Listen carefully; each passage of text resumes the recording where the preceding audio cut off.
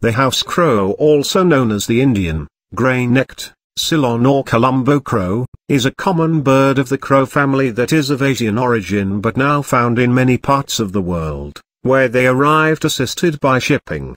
It is between the jackdaw and the carrion crow in size, 40 centimeters, 16 in, in length, but is slimmer than either.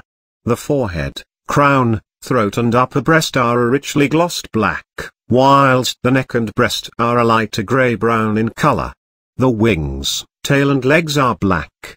There are regional variations in the thickness of the bill and the depth of color in areas of the plumage.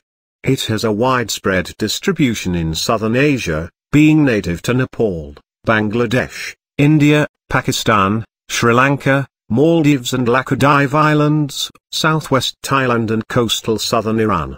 It was introduced to East Africa around Zanzibar, about 1897, and Port Sudan. It arrived in Australia via ship but has up to now been exterminated.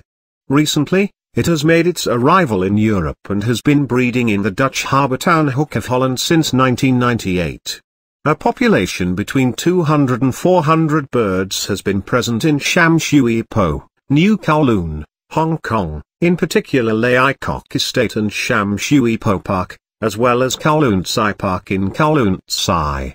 An individual has been present in Cork Harbour on the south coast of Ireland since early September 2010. In the New World, a small population of house